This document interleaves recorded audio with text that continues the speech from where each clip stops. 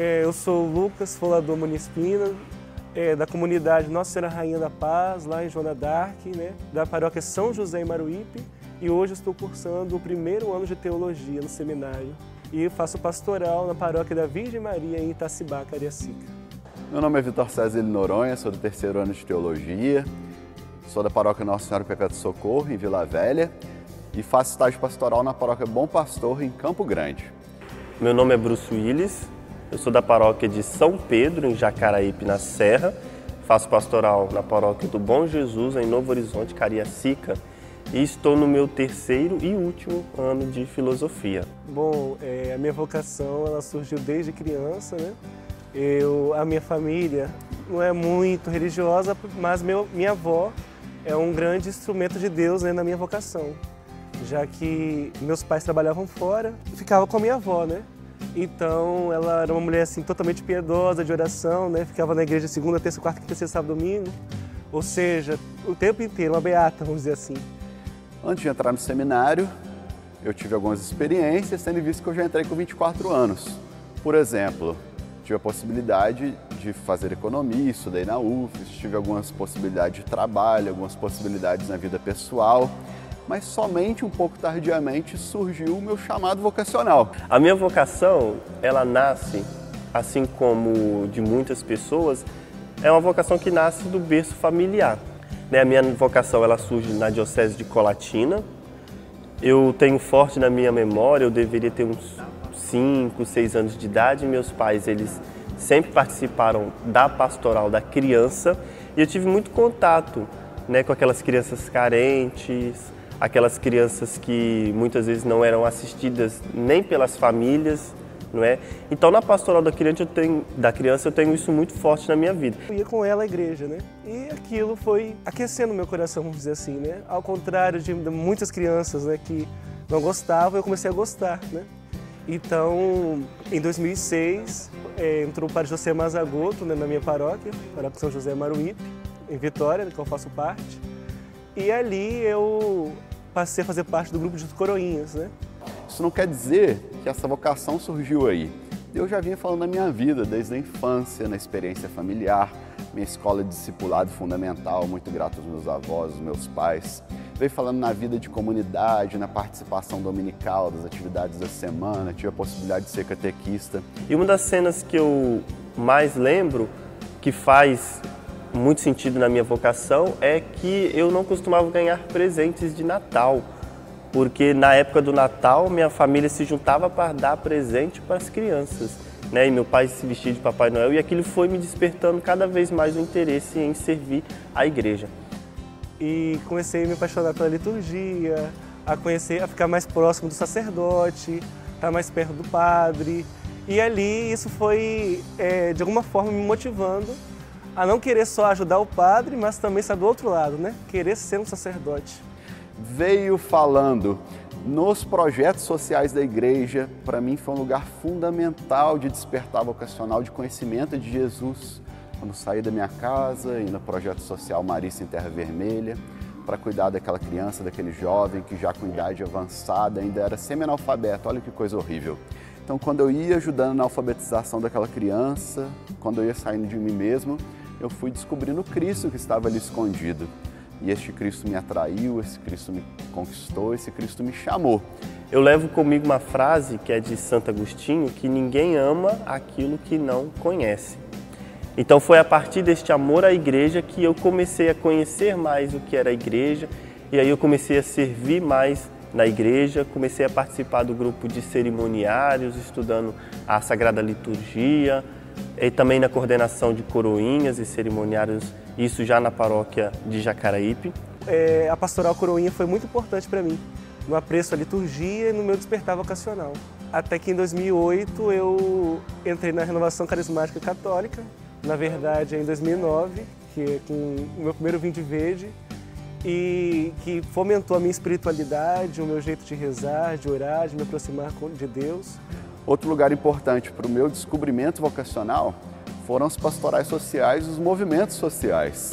Aqueles que lutam por direitos, aqueles que lutam por uma vida mais digna, aqueles que denunciam as estruturas de opressão da sociedade e anunciam que é possível um mundo novo, um mundo ordenado conforme a justiça de Deus, um mundo onde não exista últimos, mas que todos sejam irmãos em Cristo Jesus. Então foi esse o meu primeiro amor, a minha vocação. Quando eu comecei a perceber que existia um caminho, ou melhor, um, uma vocação mais específica que eu poderia seguir, que eu poderia responder a essa necessidade do serviço, do amor ao próximo e, sobretudo, o amor à igreja, eu comecei a pensar na questão de ser padre. Porque eu acho que a expressão maior do amor de Deus na vida nossa é a nossa vocação. Sem a nossa vocação, a gente com certeza não vai ser feliz. Nas experiências de oração, nas adorações ao Santíssimo Sacramento, eu pude sentir né, é, a graça de Deus é, me impulsionar para um chamado maior, mais forte, mais específico. É onde eu senti realmente né, essa vontade de ser um sacerdote. Então isso me encantou, isso foi me conquistando. É, uma experiência fundamental do meu discernimento vocacional foi quando, enquanto comissão de municipais da Arquidiocese de Vitória, fui chamado para colaborar na mediação de uma rebelião. Então, quando eu terminei o meu ensino médio, comecei a trabalhar, trabalhei por dois anos e aquilo não estava me satisfazendo. Né? Eu não estava conseguindo me sentir realizado, não estava conseguindo ter um propósito de, de trilhar uma vocação, de estudar de uma faculdade, algo que me interessasse a não ser o seminário. Né? Então eu pedi conta da empresa, larguei tudo e comecei a fazer os encontros vocacionais. E então, né, fui deixando Deus falar no meu coração, Deus ser Deus, que, como eu disse, desde pequeno, mas nunca fiquei. Nunca, quando as pessoas me perguntavam se eu queria ser padre, eu sempre dizia que eu não sabia se eu queria ou não ser padre. Fui deixando as coisas acontecerem. É, até chegar, né? É, eu nunca tive uma experiência de trabalho, logo quando eu acabei de ensino médio, eu já fiz meu encontros vocacionais e o Senhor quis né, que me acolhesse no seminário. Né? Então, mais ou menos assim que surge minha vocação, nesse contexto familiar, da reza do terço, de oração, da minha avó, que essa figura religiosa dentro da minha casa, da renovação carismática e também né, da pastoral do Coroinha, que foram coisas que me ajudaram muito, e também o padre José Mazagoto, né, já que ele era a referência sacerdotal que eu tinha né, na época. E entrando nesse presídio, após essa rebelião terminar, eu me deparei com a cena de um jovem, bastante jovem, negro, pobre, né, o perfil do nosso sistema carcerário, elevado por uma corrente, por um gancho na parede, e esse jovem nesse momento já estava morto. Quando me deparei nesta cena horrenda, ficou durante toda a madrugada sangrando, como Jesus com as suas chagas, eu fiz de fato uma experiência com o crucificado. E quem experimenta o crucificado, experimenta também o ressuscitado. Na experiência dos encontros vocacionais, eu pude, passo a passo, e tendo certeza da minha vocação, graças a pessoas que contribuíram para isso, pessoas que foram entrando na minha vida e me dando muita força. Fiz o propedêutico, fiquei depois dois anos fora do propedêutico e retornei para a filosofia há dois anos atrás. Isso marca muito a minha vocação, porque é um período de seminário, um período muito de amadurecimento na fé, amadurecimento também na vocação, porque a gente vai às vezes para o seminário com algumas algumas ilusões e chega no seminário isso tudo cai por terra e só fica a nossa vocação. Já que a minha paróquia saiu de um padre, né, que tinha um estilo totalmente, que era o Cônego Maurício, né, que me batizou e tudo mais, mas que tinha um estilo mais, mais conservador, digamos assim, e o Padre Josemar com essa jovialidade, né, trouxe uma nova, um novo rosto para a igreja de Maruípe, algo que me chamou a atenção e que também me despertou a vocação sacerdotal. Naquele dia eu tinha 22 para 23 anos eu sabia que Jesus tinha uma missão para mim. Eu não sabia que era o sacerdócio, mas depois disso, isso foi fazendo sentido em minha vida, isso foi ficando mais claro e essa realidade foi crescendo né, na minha existência. Temos bem claro que é um chamado de Deus para a vida do jovem. Isso é bem claro que é Deus que chama, não somos nós que escolhemos a vocação. No entanto, somos nós que respondemos a essa vocação. Se a gente não responder a vocação de coração aberto e sincero a Deus, isso não vai se concretizar na nossa vida, porque Deus nos dá a liberdade de escolher seguir ou não aquela vocação. Mas eu garanto, se um jovem ele quer ser feliz, ele deve escolher a sua vocação. Não que seja a vocação sacerdotal, mas que seja a vocação específica que Deus sonhou para ele, porque só assim nós vamos conseguir ter a felicidade e se sentir realizado neste mundo. Então a vocação sacerdotal para mim é esse chamado de Deus, mas também essa resposta minha a Deus, que tanto me ama e eu retribuo este amor na minha vocação sacerdotal. Meus encontros vocacionais ainda eram os ROVs, né? O Retiro de Orientação de Vida. Então nós fizemos os ROVs e tinha o chamado Rovão, né? Que era o grande retiro. E para mim foi muito significativo porque coincidiu com a data de Pentecostes, né? né? Para nós, o movimento de renovação carismática é uma coisa muito importante. E ali, para mim, aquilo também foi uma confirmação da vontade divina, né? E depois tiveram os encontros específicos, né? Era ainda o padre Adenilson, o padre Márcio, que era o reitor do seminário, e me ajudou a abrir os olhos para a diocesaneidade, né?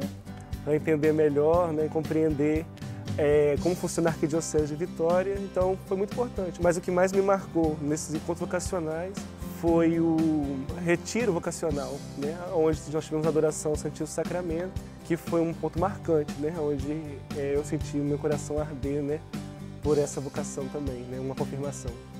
Bem, eu penso a vocação um pouco na linha de Dom Helder Câmara, ele dizia o seguinte, padre e egoísmo são inconciliáveis. Padre e egoísmo jamais podem andar juntos. Um padre egoísta é uma aberração, ele dizia. Porque o padre ele não faz sentido no vácuo. O padre ele só existe para Deus a serviço do próximo, especialmente os mais pobres. E de fato é isso que se trata. Deus não nos chama por um capricho. Deus não nos chama por um porém qualquer que ele precisa de enviar no meio do povo homens que, consagrados a ele, sejam cristificados, sejam transfigurados em Jesus bom pastor. Nessa transfiguração sejam a glória de Deus no meio do povo e a serviço do próximo. Porque eu sempre quis ser padre da minha igreja de Vitória, entende? Porque foi a experiência que eu tive, né? Na minha paróquia. Então eu sempre, como eu tive essa oportunidade com o padre diocesano, eu nunca, eu sempre pensei que eu quero ser padre para a igreja de Vitória. Porque na verdade eu sempre pensei assim, nossa, é tanta coisa é tanta gente e parece às vezes que precisa, é, há uma necessidade sacerdotal, né? Isso também mexeu comigo. Então eu sempre, na minha cabeça, no meu chamado, eu sempre quis ser padre aqui, para ajudar a minha gente, vamos dizer assim, né? Então eu nunca pensei assim, ah, eu quero sair, eu quero ir para ser missionário lá, porque eu acho que a primeira missão é do próximo mais próximo que está aqui, na minha região, no meu povo, das pessoas que precisam de mim. Por isso que eu penso padre e a palavra ministério, né, ministério do latim, vem dessa dimensão, serviço significado. Então padre, muitas pessoas pensam assim, como alguém que está acima, como alguém que manda, como alguém que demonstra vaidades em vestes litúrgicas, não. Padre, ele é um servidor. O padre é o que se coloca abaixo da comunidade para servir essa comunidade. É, nós sabemos que a vocação ela é um chamado de Deus, mas ela também exige uma resposta, né, do chamado, né? Porque Deus ele não ele não nos força a nada, né? Ele nos convida. Então, ao receber esse convite de Deus, da graça divina, eu me pus a essa disposição, né, de estar, de dar o meu sim. Eu sempre digo uma frase que primeiro você dá o passo, depois Deus coloca o chão. Foi assim que eu é assim que eu entendo a vocação, né? Deus me chama, eu dou o passo e eu sei que ele vai colocando no chão, né? Nesses, nesses quatro anos que eu já estou no seminário tem sido assim e acredito que nos quatro anos que vão vir também se serão. O padre é o bom pastor. O padre, como Jesus, é aquele que dá a vida pelas suas ovelhas. E conhecendo essa bonita imagem de padre e conhecendo também o testemunho de tantos padres na minha vida, que são Jesus bom pastor em minha vida, um dia eu tive essa certeza quero ser padre. Aí encontrarei felicidade. Não porque vai ser fácil, não porque não haverão perseguições, não haverão calúnias, enfim, porque isso faz parte da nossa caminhada. Né? Especialmente aqueles que decidem realmente se abrir para viver o Evangelho. Mas vale a pena porque de fato é aquilo que nos faz dizer sim a Deus e dizer sim aos irmãos. Isso realiza, isso completa, isso traz felicidade. Então por isso que eu disse um dia sim e estou discernindo nessa caminhada esse chamado.